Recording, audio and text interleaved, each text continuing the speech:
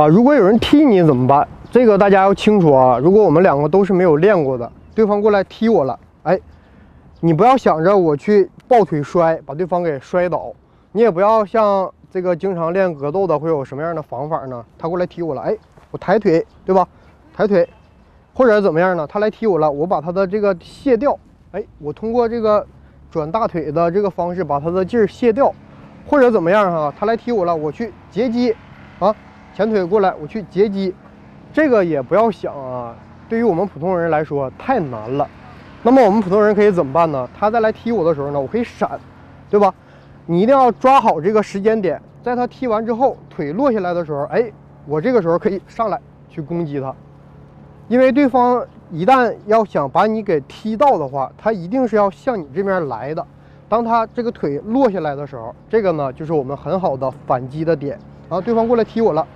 哎，我落下来之后，这个时候我就可以攻击他。正蹬更是如此。大家可以看一下我们之间的距离啊。我如果正常这么蹬是蹬不到他的，那么我一旦想蹬到他，我一定要向前送胯，然后身体向前去蹬他。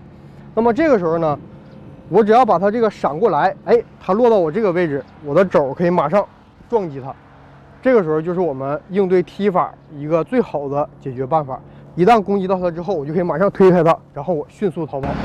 啊，我们基本看到的这种街头格斗呢，基本上都是王八拳呀，或者是这种踹呀，很少出现那种特别专业的鞭腿呀，对吧？什么旋风腿呀，什么后踢呀，很少很少会有这种。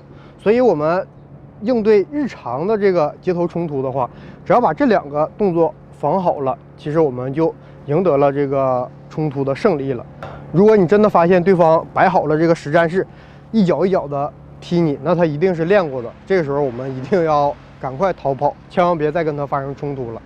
喜欢的朋友呢，别忘了点赞和评论。我是武术教练小易，咱们下回再见，拜拜。